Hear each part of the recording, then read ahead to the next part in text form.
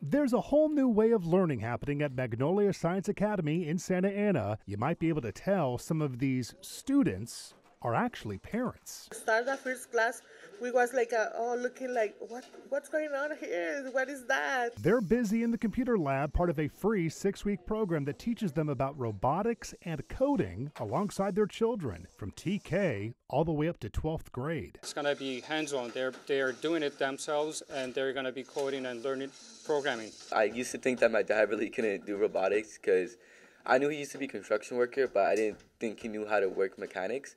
So, you know, I'm learning that he can do basically anything he wants if he really tries. The program intended for parents who are immigrants is breaking all kinds of barriers generational, cultural, and educational.